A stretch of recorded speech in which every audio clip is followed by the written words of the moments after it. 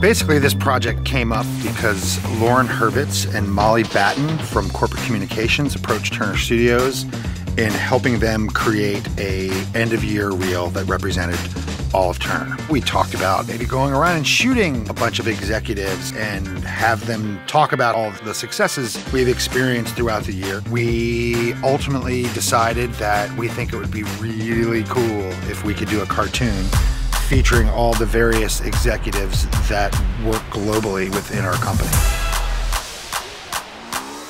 Welcome to Turner Town, where we're celebrating the best year in the history of our company. The more we thought about it, we were like, ah, it would be great to do something different. Like, let's do something that's unexpected. When I first heard about this project, the project manager side of me was like, oh my gosh, this is ambitious, and I got to pull a huge team together now. Early on in the brainstorming sessions, we kind of came up with this idea to take our cues from the classic Rankin and Bass animations from the 60s. So for a proof of concept, we decided to do a pitch video and then get our creative director and actually do the 3D animation of him pitching this video as a viable option for this end of the year reel. So we had him go into the audio booth, read the script, and then from there, we had our 3D animators replicate his likeness. Oh, I loved the concept. I thought that it was going to be a fantastic project to work on. There is something just so nostalgic and so romantic about that old style stop motion animation that I think that captivates everybody's interest. The animation in Rankin and Bass actually was very herky-jerky and, and uh, it's not as smooth and polished as some of the stop motion animation we see today. And we didn't exactly want to match that verbatim, so we took some liberties and, and pushed it further into a polished direction. So the motion was a little bit more smooth than their actual films. I think that everybody would recognize that particular style. It's so specific and uh, is so recognizable. Once the script was completely approved, or at least when it was really close to being approved, the first phase was creating an animatic.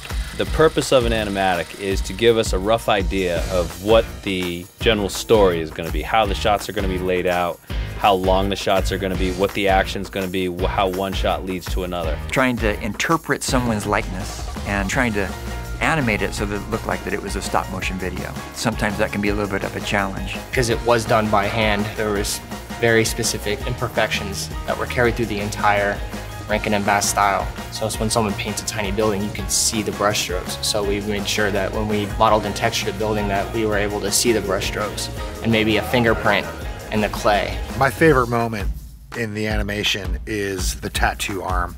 It, it, makes me laugh every time. I love the fact that then John Martin walks by and says, Sweet tattoo, bro. Hey, thanks, man. Most Turner employees know the legend of the fact that John has a sleeve of tats. For this spot, I think the, the Shaq and Lenny shots in particular were some of the funniest. Oh, yeah. We good? When I saw it come together, I was really proud of the team. I was really proud of those guys.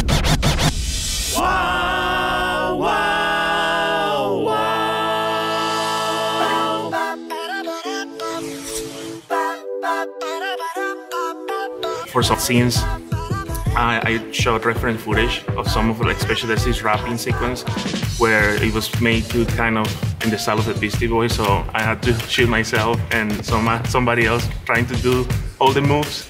Uh, that footage will never see the light of day. I burned the phone.